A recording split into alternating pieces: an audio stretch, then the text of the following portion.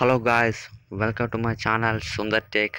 Guys this is sundar. Today i'm going to show you how to customize your notification bar in Tenor G mobile. So before going to change your notification style you need to download an app called power shade. This app is needed to customize the notification bar. So let's go to play store and type here. Mm, power shade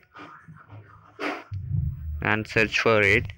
Here you will find the power shade notification bar changer and download it. I'm already downloaded so let's open the app and let's run it. So here you can see not running. App is not running let's switch it on. Click on the app. So here we got two options notification and accessibilities. Let's click on the notifications.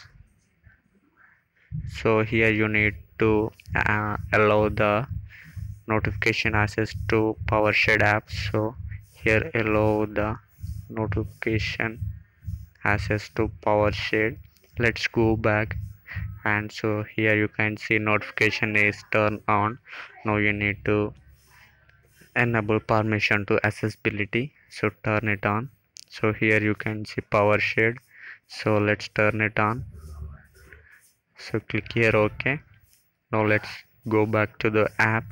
Here you can see your power shade app is running. So let's see in the colors menu. Here you can change the colors of uh, notification bar. Let's let's see our notification bar how it customize it. So here you can see guys this is customized some colors. Let's change those colors in these settings. Active tile color. Let's change this color. Change it to red and select it let's see it changes or not. See it changes. So some people are asking how to change uh, notification bar color. So this video is might uh, helpful to them. And let's change background color to green. Select. Now here see here we can see color is changed. Mm.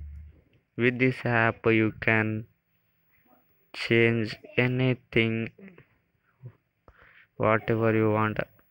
Like uh, you can increase the size of those fonts and color and you can you can do anything with this app to customize the notification bar.